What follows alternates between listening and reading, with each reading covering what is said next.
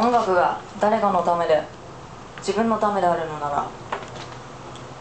音楽が僕らのためで誰かのためにでもあるものなら